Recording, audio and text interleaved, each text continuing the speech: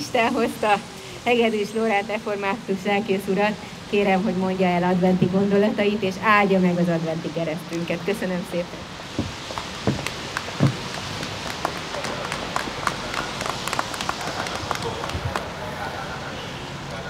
Kedves magyar testvéreim, elnézést kérek a késedelemért, de egyrészt az altemplomomban, a Hunnal perben megkurcoltaknak a háladó vacsorája és mint egy szabaduló bulija lesz, és az kezdődött el, illetőleg egy esketés is bevállaltam időközben, kárpátaljai fiatalokat adtam össze, és nagy örömömre szolgálat tekintetben is, hogy a hazatérés temploma határon túl átnyúló missziója az ilyen értelemben is a magyar jövendő szolgálja.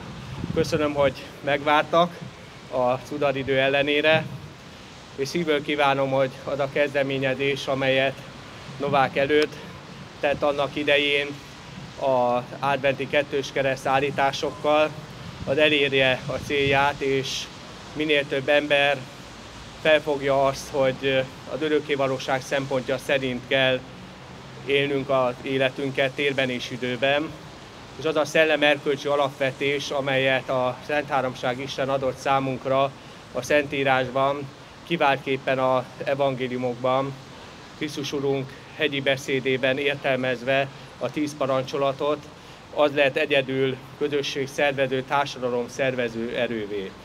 Ha a társadalomnak a törvényei fényévnyi távolságba kerülnek Isten törvényétől, annak sohasem Isten látja a kárát, hanem a társadalom.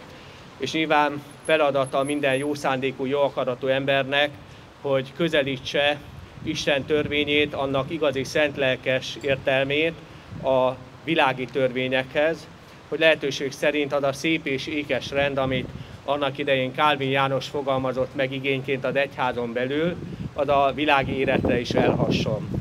Na kiváltképpen szükségünk van ennek a képviseletére, akkor, amikor sajnálatos módon sokszor egyházank is hallgatnak, nyilvánvaló törvénysértések, sőt embertelenségek rendszer szintjén történő elkövetése, annak képviselete és végbevitele kapcsán.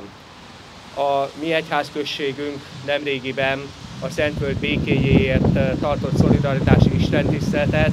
Nyilván az itt jelenlévők értesültek arról, hogy milyen méltatlan támadás érte emiatt a hazatérés templomát.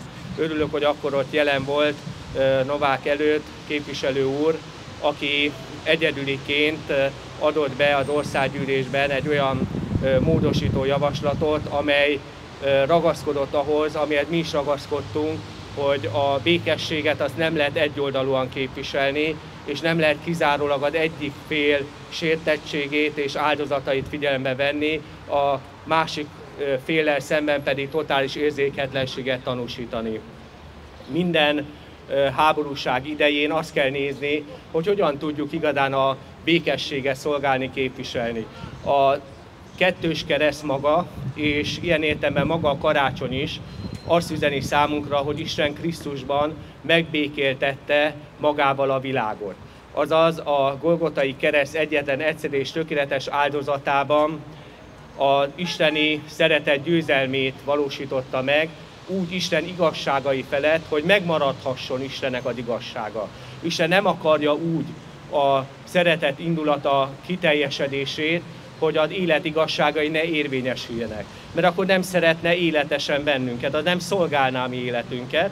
És ugyanúgy kimondhatjuk, hogy Isten nem akarja, hogy az ő életigazságainak úgy szerezzen érvényt, hogy az a végtelen, határtalan, bűneltörlő, megbocsátó szeretete, amelyet Krisztusban is felmutatott, ne érvényesüljön szerte ezen a világon, észak sarkától a tűzföld fokáig, naptámadattól a napenyészetig. Én szívből kívánom, hogy ez a kezdeményezés ez, ezt a Krisztusi határtalan, végtelen szeretetet tudja szolgálni, és minden nemtelen, gyilkos, gyűlölködő indulatnak gátat tudjon vetni. Ez a mi legdöntőbb, legalapvetőbb küldetésünk, és ami pedig az apostoli keresztet illeti, az meg tudjuk, hogy a mai nemzeti identitásunknak is döntő, kikezdhetetlen része, mutatva azt, hogy Istennek a értünk hozott áldozata az nem csak személyre szóló áldozat, hanem egy nép, egy nemzet életében is működő áldozat. És végezetül ne feledjük azt el, hogy számtalanszor hangoztattam ezt, de ez mindmáig igaz, hogy nem volt még nép és nemzet, mert történelme során annyi áldozatot ö, hozott volna saját Istentől nyert földje megtartásáért, mint éppen a mi népünk. Talán ha van nép, akinek a sorsa ehhez hasonlítható a modern korban, az éppen egyéb iránt a palesztin nép, bármit is mond a cionista propaganda. E tekintetben testvéri közösséget kell vállalnunk minden megalázottal, és a saját népünk szabadsága kapcsán pedig kimondhatjuk, hogy fontosak a nemzet stratégiai szövetségek, amelyet a kormányzat is képvisel számos ponton, de az nem működhet úgy, hogy más nép szabadságának, önrendelkezésének a semmibe vételével kívánjuk ezt a szövetséget gyümölcsözővé tenni.